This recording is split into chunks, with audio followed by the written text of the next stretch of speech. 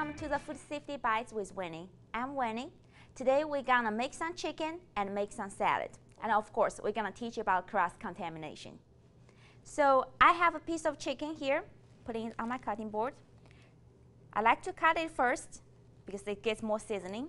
Some people like to bake it as a whole piece, then cut it. Just personal preference.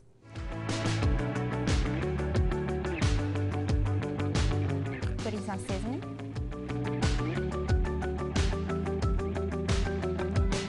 Let it sit for a while. At the same time, we're gonna wash our cutting board and knife and wash my hands.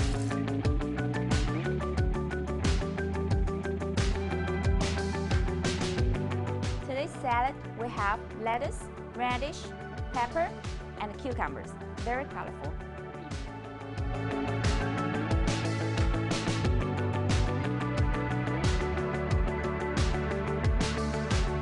Then cut up some lettuce.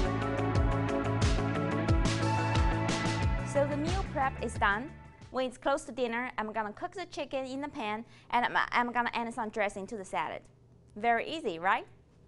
When you think about this, what went wrong in the meal prep I just did? Let's take out the black light and see. I put some germ lotion on the chicken today. It is not real germ, but it is similar to the bacteria contamination. Just like the bacteria, we cannot see it with our naked eyes. But under black light, it can help us understand where bacteria is hiding. Raw animal foods such as meat, poultry, seafood can contain harmful bacteria. Now we're going to see how those bacteria spread in our kitchen. You can see the glowing spots on the countertop. That's probably the splash when I open the package or when I cut the chicken. There are some glowing spots on the cutting board and the knife even though I washed them after I cut the chicken.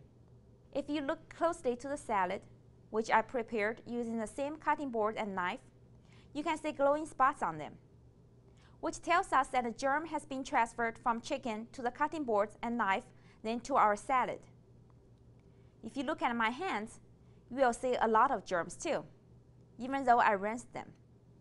And of course, my apron or kitchen towel or anything else I touched in the kitchen will be contaminated too. This tells us that cross-contamination can happen in our kitchen. If we're not careful, bacteria can move from a chicken to our salad, to our hands, and to all over the place in the kitchen.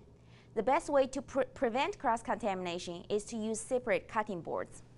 I have a whole set of cutting boards here, different colors for different type of food. You can use the green ones for leafy greens, for vegetables. You can use the white ones for other cooked foods, like beans. And you can use the red ones for um, meat and poultry. And you can use the blue ones, it's watercolor, use it for seafood, fish.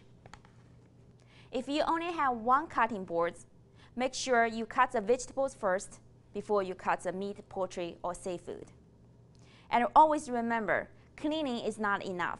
You have to clean and sanitize the surfaces, cutting boards, and utensils.